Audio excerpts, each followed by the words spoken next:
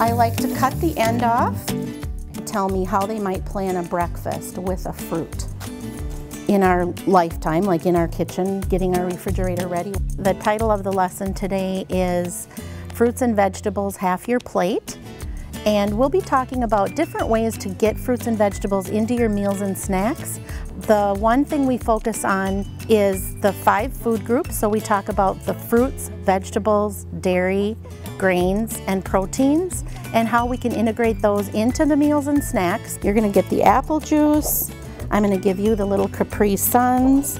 Programs like this are valuable, especially this one, in terms of if we teach the families how to save money at the grocery store, in addition to buying the healthier foods, in the long run that helps us save money. This program is offered in counties throughout the state who have identified a need for nutrition in partnership with Iowa State Extension and Outreach and local county offices.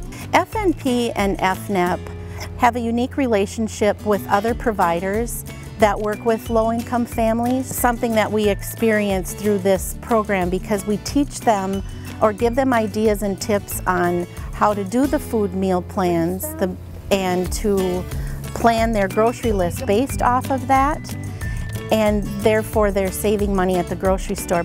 The brand name does not signify if it is 100% or not. Because this program is funded through federal grants and the USDA and then also county level funding comes into the program, we are allowed to provide this program for free to the families.